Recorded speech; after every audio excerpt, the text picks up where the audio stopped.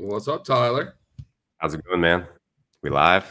It's, it's we are live. I am snowed in today, um, in a hotel room. It is winter storms in the south, my man. Good man. I'm glad uh, you getting snowed in. You can still get on the call and we can discuss our the daycare that we're underwriting today. Had fun today researching yeah, the learning experience. I'm actually really excited about this, as I as I told you via text. Um, I did not spend as much time on this as I, I would have liked prior to this call, but uh, I do plan on doing a deep dive. As I mentioned, we're doing a concept now um, that is private equity backed. I, I, won't disclose the name right now, but um, and I feel like this asset class is the closest one to what we are currently developing, right? And so, um, yeah, you know, we did look into the daycare industry. Uh, it is not a daycare what we're developing, but um, but did do some studying on the the the daycare industry and its cap rates prior to taking that on. And and uh, anyway, I'm talking too much. I'll let you uh, let you run with it. Great, man. Um, let me share my screen here real quick. Can you just let that? Uh, let me add you. Accept that screen. Okay, so this is the company, um, you know, that's going to be paying the rent on this asset, the learning experience. This is a this is a daycare. There's zero to six babies up to six years old. They've got 300 and something locations, uh, another 250 ish, I believe, under development. So they're growing extremely rapidly. Um, one of the already one of the biggest uh, daycare franchises in the US. I think they're like sixth or seventh. Um, super interesting, a lot of cool concepts, um, and definitely really fast growth. This one in particular is in the place that we know best, just outside of Nashville, Tennessee um, Winston's hometown just up here. You find Winston's house here, uh, just up a little bit north where this daycare is. So, um, you know, we've looked around this area a lot. This is this one's in Spring Hill. So if you, you zoom in, Spring Hill's just just outside of, of Nashville. It's uh, in the Nashville MSA. Um, it's it's a nicer area, wealthier area. This one's particular. This one is in a residential area. Um, this daycare is actually being finished right now. So if you're in Google Maps, Google Maps, as you know, probably knows, um, usually a bit behind. So it doesn't have the construction here, but it's going to be right here in this residential area, which is also an area um, right next to this elementary school and right in the middle of Spring Hill, Tennessee, which, uh, you know, is a great area demographically. Um, Winston, I don't know, do you want me to uh, throw up a Tableau map just and uh, show how, how the demographics look for Spring Hill real quick? Yeah, sure. And while you're doing that, I'll talk about it a little bit. Um, so we have a project going in Spring Hill right now. I was just looking at that about two and a half miles up the road from here. So Spring Hill is a great, um, it's a great submarket of Nashville. It has grown rapidly.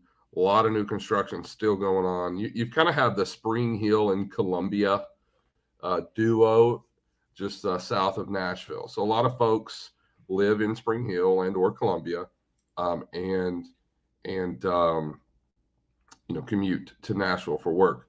But you also have you know Spring Hill is unique. Uh, it's kind of cut into half, but you have Williamson County, which is really known to have great schools, and so you've got a lot of families that really uh, are able to to kind of get the Williamson County public schools um, by being in Spring Hill uh, and and not in the more expensive areas like Franklin, etc. So, uh, great market. I think Spring Hill has a very bright future. Uh, so much so, you know, we're we're developing a project uh, in Spring Hill, as I mentioned. So, very very good future. Uh, excuse me, very good market for for for long term investment, in my opinion. So, what do you got, Tyler? Yeah, great. And just I'll just whip this up here real quick. So this is, um, you know, we do a lot of work in the Nashville area. So this is a this is a Tableau map. Basically, what we're doing here is overlaying some demographics with other local businesses. Um, so for this one in particular, where this is a daycare, you know, some relevant local business businesses would be like where are other daycares, where elementary schools, um, and things like that. And then we'd also want to overlay that with some demographics. So in this case, I'm looking at the Nashville area here, and I'm looking at medium household income by zip code. So I can go over here and I can play and I can, you know, only look for, you know, maybe areas with higher income. And you can start to see some of these zip codes fall off. I go to 50, 60,000. Um, some of the more ones fall off. If I zoom in here on Spring Hill, you know, you can see they're still in there in these higher levels. This is 75,000 average income. Uh, this one's 120,000, 86,000, 86,000, 103,000. So this whole Spring Hill area is actually a pretty wealthy area. Um, and if you overlay that with, you know, daycares, which are going to show up here in red, and schools, uh, which are going to show up in yellow, you can see basically um, this is a very, and there are other demographics we use to look at this, but just quickly for now, this is a very uh, family oriented neighborhood. And we've specifically looked at this on, you know, percentage of population by age. And we know that Spring Hill is a great area for daycares, for schools. And that's probably, you know, that's why there's already a lot of competition there. Um, and then this daycare in specifically has found some white space. I believe this daycare is right here next to Prescott. Yes, Allendale Elementary School. So uh, this daycare will be located next to another daycare and next to this elementary school right here. So they found a bit of white space in a crowded area. As you see up here, there's a lot more competition among daycares in this section of Spring Hill, and then down here is where this this one's going to go. So just a quick, you know, quick look at some of the stuff that we do when we're analyzing markets, um, some of the tools that we use before we actually get into the financials of this. Excellent. So speaking of financials, um, as we said, this is a learning experience. Uh, who will be the tenant? This is a brand new lease, hasn't even started yet. Starts in July. Um, they're just finishing up the school now. 15 year lease with two five year options on the end. Um, and they're asking a 6.4 cap for this school, right? So it's doing 365,000 a year in NOI, and they're asking 5.7 million. Um, a couple things to keep in mind on this. One, it's not a triple net lease. So the landlord is responsible for roof and structure. So this being a 10,000 square foot building, that's, that's a lot of roof and a lot of structure. Um, so you're gonna have to put some money away uh, in reserve each year to make sure that you can, you know, brand new building, you're probably not gonna have to pay much, you know, in the next few years. But that reserve does have to be in place so that you're, you know, you're you're not over calculating how much money you're making each year, and then all of a sudden, bang, you get hit with a, a massive bill you can't pay. Um, Winston, you want to talk any bit about these double net, triple net leases? Well, just remember that a lot of times the uh, you know a lot of people balk at at having responsibility for the roof as a landlord, uh, which yeah, it is a pain, so, or it could be a pain, but you do have a roof warranty, right? A lot of times those roof warranties can be you know 15, 20, 25 years, uh, and you can pay to have them longer, right? So um, so long as you do not allow any contractors up there uh, to damage the roof. Um, you know, you, you, you really don't have that big of a risk because you do have the roof warranty, right? So um, I just I just think it's important to add that. You know, a lot of landlords they get upset because you know it's not the full absolute triple net, but when you have uh, the double net, you know, where the landlord's responsible for the roof, you can get a little bit more of a premium. And so, you know, yes, you have more responsibility. If there's a, an issue with the roof, you may get a call, but you're able to to really capitalize on that and increase your cash flow, um, or you should be, versus an absolute triple net lease, right? So, you know, if this was an absolute triple net lease, you know, maybe it's trading at a six and a quarter or a six right? Probably not a six, but six and a 15, six and a quarter. So you get a little bit um, of a premium for that risk. Yeah, great point. Um, the other thing that's interesting about this, the other thing that's interesting about this lease that isn't typical, uh, the guarantee is a burn off guarantee. So a burn off guarantee is when the, the tenant is guaranteeing something up front, but then over time that guarantee gets smaller and smaller. So in the case of this one, uh, the learning experience is guaranteeing 800,000 upfront. And then each year for the, for the first eight years, that'll go down by 100K. So then after eight years, there's no more guarantee on the lease. So that's a different type of guarantee than you know you're typically seeing with these um, large tenants or corporate guarantees um, that we can compare directly to corporate bonds or or we can compare these private companies directly to public companies that are that have corporate rated bonds. Um, in this case, we can't really we can't do that as well. Um, it's it's it's significantly more difficult to discount the cash flows in the same way in the same way that you would say a corporate bond or or corporate backed uh, guarantee. So that's another reason that that cap rate, that 6.4 cap, might be a little bit higher than let's say an equivalent business that gives you a full uh, corporate or large tenant guarantee. Yeah. Let me strip this open here real quick. So, acquisition cash flows, operating cash flows. Um, this this one actually has pretty good rent bumps. It's twelve percent every five years. So you know you're starting off at 365,000 base rent. You've got some capital reserve. I put 20,000 a year down here. This is a 10,000 square foot building. Winston, you think that's that's high or low? Uh, I think that's good. I think it's a little high, but um, you know what we would do. We didn't have time to do it, but what we would do is get quotes on what it would cost to to kind of replace the roof uh, and or anything that we have um, that we have responsibility for, and kind of um, go off that. But I think twenty thousand. I think it's a little high per year.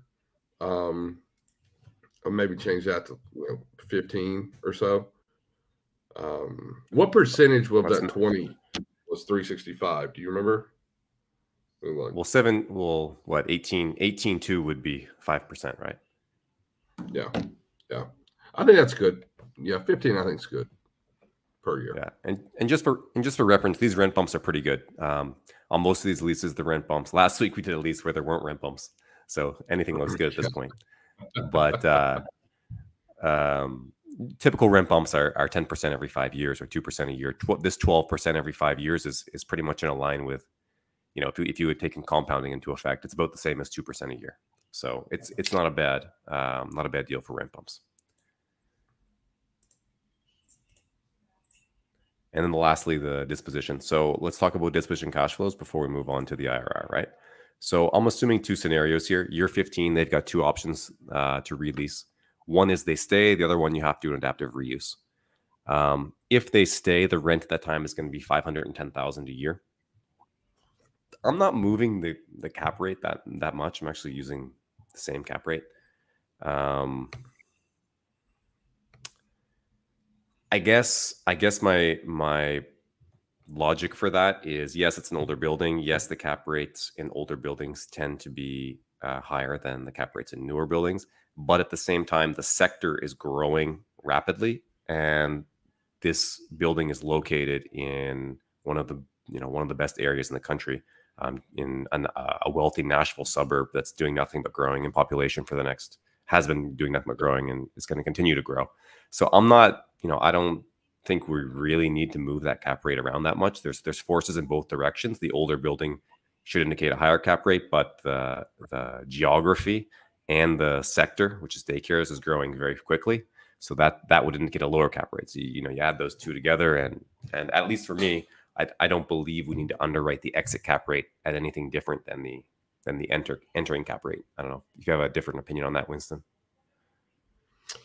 You know, it's a tough one. Uh, I don't really, I'm not going to push back a lot on this one. No one has a crystal ball into the future. So it's really tough to know what the cap rate may be at this position, you know, in seven, eight, 15 years, right? So um, I think leaving it there is a little bit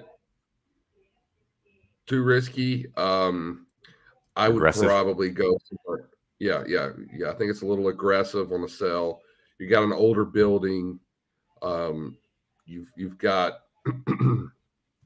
you've got a tenant. You know, the benefit of having an older lease term is they've been there, they've been successful, right? But they don't always renew. So um, you're gonna have some change in the in the in the cap rate, in my opinion. So I, I would probably try that at you know a six, nine, or seven cap. But again, no okay. one knows. I'm conservative, right? So let's be more conservative. So we'll do six, let's do six nine on the on the tenant renews and and we sell, and then on the adaptive reuse we'll have a new lease in place and a hundred dollars and a million dollar uh, uh, renovation. We'll keep that one at six four. Okay. All right. So basically, our uh, you know if you go down the weighted average of those two, if you do ninety percent renews, ten percent adaptive reuse, the weighted average is we're going to exit uh, net sales reversion after you know fees and everything else of about uh, seven million bucks. Okay. Yeah. So so if we look at that from an IRR perspective, right? So here's our leveraged cash flows. This is, you know, kind of a typical structure. Let's actually just start with zero. So let's say we didn't have a loan. So unlevered IRR, right? 7.48% unlevered IRR. Um, you've got positive cash flows every year.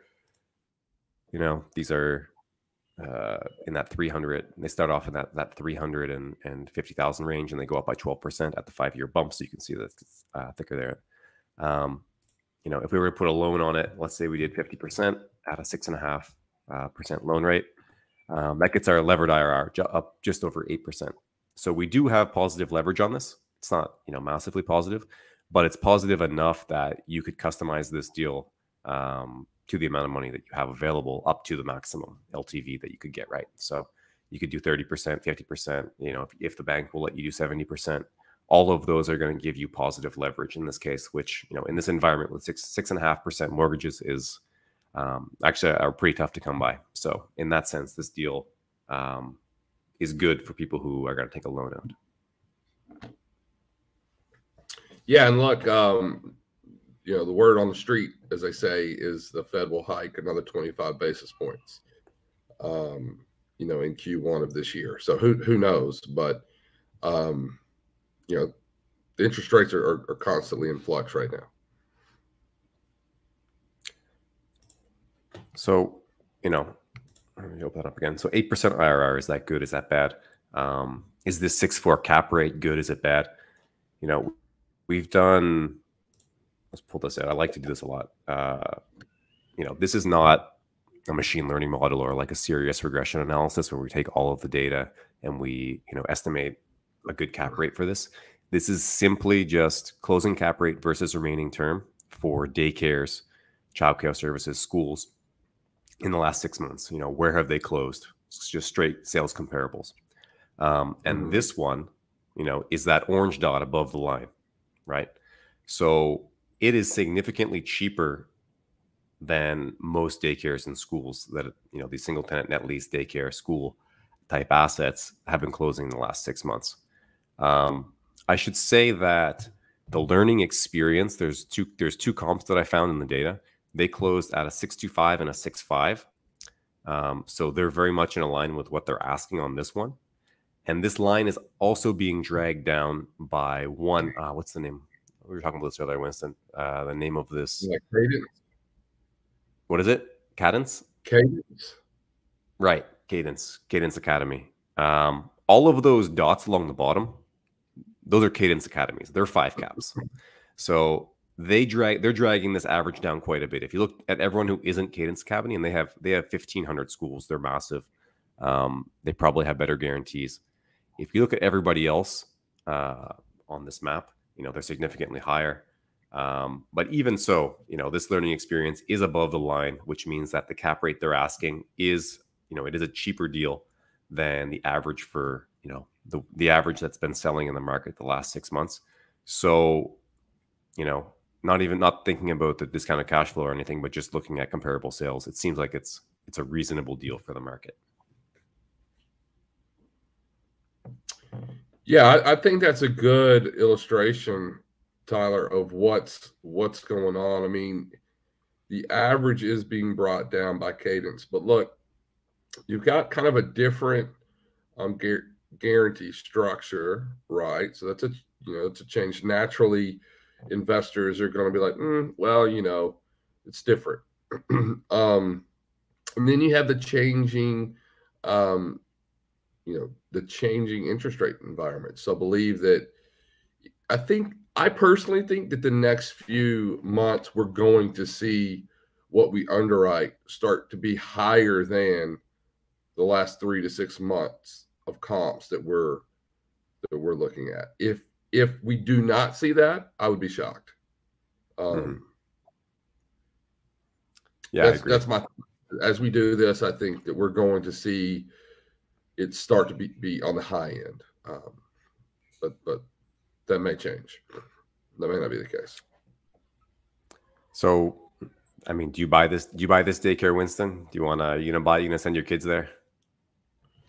Well, I don't have any kids yet, but um, you know, if I did, you know, I, I think. Look, I'm a fan of Spring Hill. I think that Spring Hill as a market is very attractive. I don't love the location of this particular business. I mean, it is kind of in the neighborhood. Um, it's not retail focused. You know, I have a more of an, uh, I don't know, a, affection, if you will, of of more retail focused properties. But it is in a great market. You know, childcare is a need. I think it's only going to increase over time. That's my personal belief. So I think if you know if, if we have a client who is into child uh, child care, they believe in it, um, they have cash that they need to place. I think this is a good purchase. You know, the question comes down is is it a deal? No, I don't think it's a screaming deal. I don't think you're you're going to hit a home run off of this. Um, but I would say that about almost anything in this current environment. So if everything was equal, I would say yeah. I'd say it's in a great market it's a good concept. I would do a little bit of digging, more digging on the um, sign the NDA and and get some information on the guarantor um, and see if they would provide any sort of site specific financials. But I, I, like this. I like this as a deal. Um, the the negative is the build out if if anything goes wrong. I mean, you're looking at a very large, um, you know, build out unless you have the, like the same exact use. Um, but overall, I think you're always going to have an opportunity for childcare in Spring Hill, especially in the pocket that they're in. So yeah, yeah, I think it's a buy. Yeah, I think I agree with you. Um, for everything that you said, um, you know, looking at it financially, I think the return that you're getting on this is above, you know, the return that you get on most other net lease assets. Um, I think it's great that it's positive leverage, which is very hard to find these days. I think it's great um, that it's priced cheaper than the alternatives, even within it, you know, this market. Um, as Winston said, and as we've looked at, there are reasons for that. You know, the the the lease guarantee isn't great. Um, you know, Spring Spring Hill, you know, the, the adaptive reuse will, will be difficult in case you can't put another school in there if this tenant leaves. But you know there's risk with anything you buy um, and i think the return on this one is reasonable even at the price they're asking. I think it's a re- for the right investor it's a reasonable investment. I, I, definitely i definitely could see this working for for someone who's who's interested in uh, this type of investment. So I, I also would i would call it a it's a it's a lukewarm buy for me uh, and, and maybe a, a great buy for for the, you know the right investor yeah, let's not forget, Tyler, that every investor is different. Every everyone has their own preferences, but they also have their own tax situations, right? Um, they may be in a situation, a 1031 situation, where they need to place it. And this this is a real, this is a legit um, deal, not a home run, according to our data, but but yeah, well, good. So if anyone's interested in it or Spring Hill, uh, we know Spring Hill pretty well. We've looked at it deeply and uh, we do have a project going on there. But happy to discuss this with anyone. Tyler, do you have anything else? That's it, man. That's it. Well, thanks for doing another week. I'll see you next week. All right. All right. Cheers. Cheers, everybody.